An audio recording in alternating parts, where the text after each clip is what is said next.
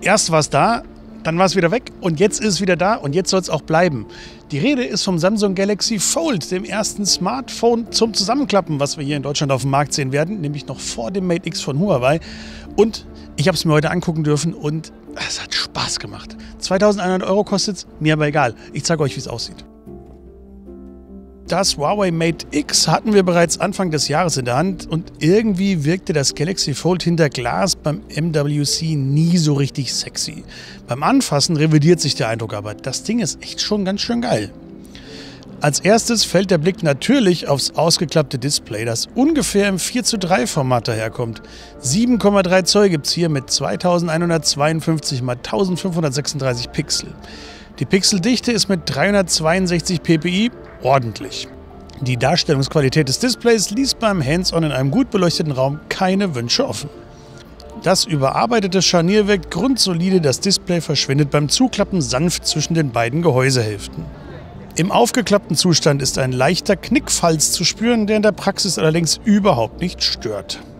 Natürlich hat Samsung auch die Software an die größere Displayfläche angepasst. Es lassen sich problemlos zwei oder drei Apps gleichzeitig auf dem Bildschirm unterbringen. YouTube gucken, Mails lesen und WhatsApp chatten gleichzeitig? Kein Problem. Ich bin mir aber sicher, euch fallen noch kreativere App-Kombinationen ein. Besonders viel Spaß macht das Display auch bei Spielen und Multimedia-Anwendungen. Erstaunlich fand ich hier, wie flott das Umschalten zwischen dem Innen- und Außendisplay beim Zuklappen geschieht. In den Einstellungen lässt sich übrigens das Verhalten jeder einzelnen App beim Auf- und Zuklappen festlegen. Das Außendisplay ist 4,6 Zoll groß und löst 1680 x 720 Pixel auf. Das klingt auf den ersten Blick enttäuschend, jedoch fügt sich der Bildschirm nahtlos in das Material der Vorderseite ein, sodass das kleinere Format oft gar nicht auffällt. Meistens werdet ihr das Galaxy Fold aber aufklappen und den großen Screen nutzen. Was gibt sonst noch zu sagen? Um den Antrieb kümmert sich ein Snapdragon 855 mit 12 GB RAM.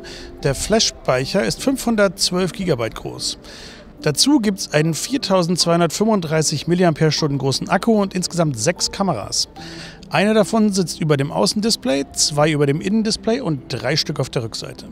In Deutschland kommt das Galaxy Fold ausschließlich in der 5G-Variante auf den Markt.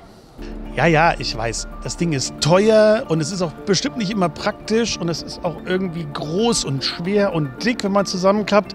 Aber ganz ehrlich, ich habe wirklich seit langer Zeit nicht mehr so eine Faszination für ein neues Smartphone gespürt wie jetzt beim ersten Test mit dem Galaxy Fold und ich kann es echt nicht erwarten, bis Samsung uns das Testgerät schickt, damit wir es eben gucken können, ob es im Praxistest die Lorbeeren jetzt aus dem ersten Test auch halten kann. Bis dahin, bleibt uns gewogen und äh, wir sehen uns hier auf äh, den Videos oder bei androidbit.de.